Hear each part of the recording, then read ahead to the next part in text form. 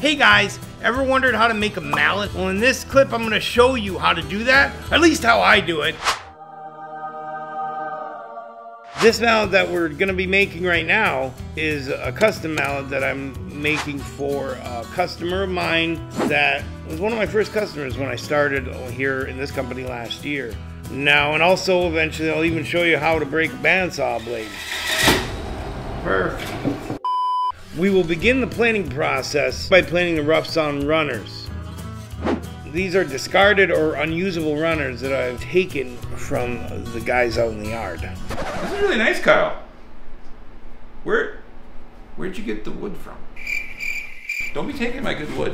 if I got runners and stuff I can use, don't be stealing it for these stinky little hammers. I promise I'm not. I can't promise that. I sort of. I can't promise that. I usually measure the heads and cut them at about 6 or 7 inch lengths, depending on who or what they're going to be used for.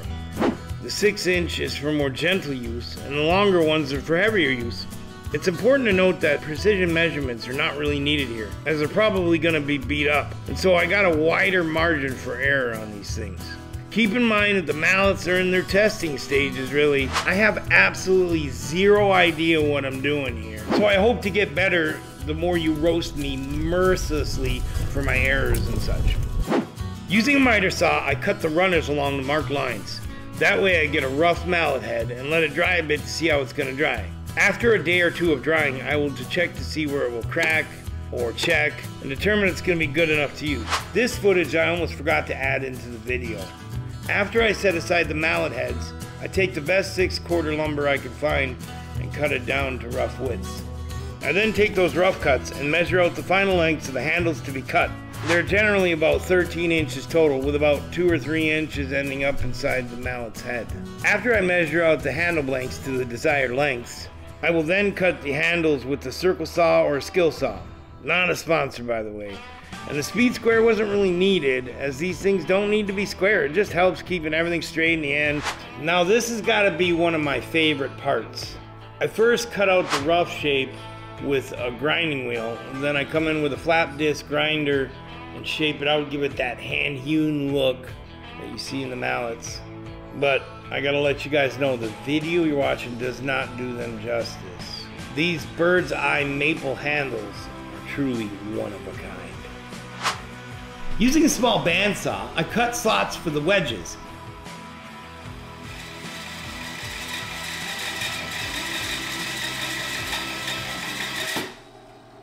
Perfect. Perfection. A few minutes later. Now adding wedges to the mallets is just an extra precautionary step as I use freshly cut or green mallet heads and kiln dried lumber for the handles. So that when the mallet head dries, it'll shrink around the kiln dried mallet handle, essentially sealing it on the handle for years to come. Now back to the mallet heads. I will measure out the center of the mallet head, then I will drill a hole into the center of the mallet's head, creating a space for the handle. Now this is the only step that requires any sort of precision, because as you can imagine, if I don't cut this hole right, the handles will be crooked. After I drill the hole, I will typically let the mallet head dry for about a day or two, just to see what it does, before I make a decision on whether to use it or not. Now after I move forward with the mallet head that I like, I will sand it with a 36 to 50 grit sandpaper to remove anything that I don't like about it and to round off the corners. I've also been thinking about adding a thumb slot to the side of the mallets to aid in precision striking. So here I am mixing the glue with the sawdust. It helps to fill the gaps between the mallet head and the handle to secure a better bond. Then I will apply the mixture to the hole and then add some glue to the handle just to make sure that everything's all glued up. This step is just another added process along with the wedge to make sure that the handle stays on the head. Then quickly I violently jam the mallet's handle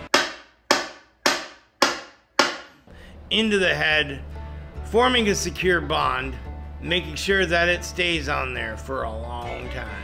Then I wipe off any excess glue around the handle and the head just to make sure to clean things up. So as the mallet head dries, it's important to let the mallet head and handle fully bond together. This drying period is crucial to the durability and longevity of the mallet overall. So as I explained earlier, we use wet mallet heads and kiln dried handles, right? So along with that, with the glue and the wedges, that will ensure that the handles will stay on there forever. So sometimes I'll use an end grain sealer on the mallet heads after I cut them. It just kind of helps to, to avoid cracking and checking. You know, try to avoid. Keyword, oh my God. Am I even recording still? The keyword is try. You know, it's lumber, it's wood. Wood's gonna do whatever the it wants. So now we set the mallet aside and let it for a few months to let it dry. Let the mallet head shrink around the handle. So I'm thinking about splitting this video into two parts. As the mallets dry, um, I'm gonna show you how I finish it, how I sand it, finish it. And if you wanna see how this lumber, like the runners, were made in the first place, click on the logs to lumber video that's coming up right now, pow pow pow, and you get to see how our lumber's made. Thanks.